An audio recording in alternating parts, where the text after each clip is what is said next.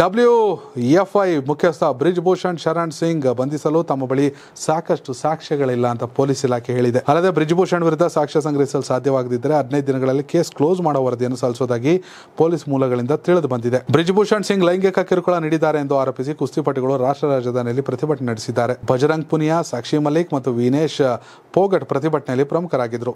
ದೆಹಲಿ ಪೊಲೀಸರು ತನ್ನ ವರದಿಯನ್ನು ವರದಿ ಅಥವಾ ಚಾರ್ಜ್ ಶೀಟ್ ರೂಪದಲ್ಲಿ ಸಲ್ಲಿಸಿದ್ದಾರೆ ಎಂದು ಮೂಲಗಳು ತಿಳಿಸಿವೆ. ಈ ಮಧ್ಯೆ ಕುಸ್ತಿಪಟುಗಳು ಸರ್ಕಾರಕ್ಕೆ ಐದು ದಿನಗಳ ಗಡುವನ್ನ ನೀಡಿದ್ದಾರೆ ಮತ್ತು ತಮ್ಮ ಬೇಡಿಕೆಗಳನ್ನು ಈಡೇರಿಸದಿದ್ದರೆ ಮತ್ತು ಸಿಂಗ್ ಅವರನ್ನು ಡಬ್ಲ್ಯೂ ಎಫ್ ಐ ಮುಖ್ಯಸ್ಥ ಸ್ಥಾನದಿಂದ ವಜಾಗೊಳಿಸಿದರೆ ತಮ್ಮ ಪದಕಗಳನ್ನು ಗಂಗಾ ನದಿಯಲ್ಲಿ ತೇಲಿಬಿಡೋದಾಗಿ ಹೇಳಿದ್ದಾರೆ.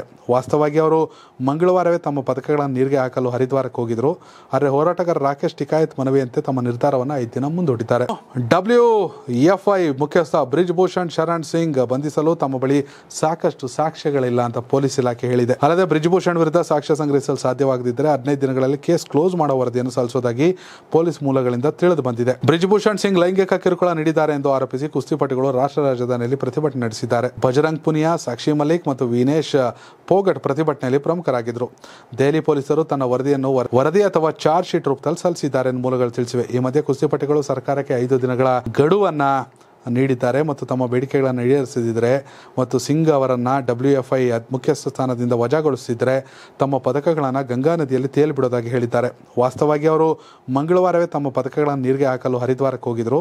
ಆದರೆ ಹೋರಾಟಗಾರ ರಾಕೇಶ್ ಟಿಕಾಯತ್ ಮನವಿಯಂತೆ ತಮ್ಮ ನಿರ್ಧಾರವನ್ನು ಐದು ದಿನ ಮುಂದೂಡಿದ್ದಾರೆ.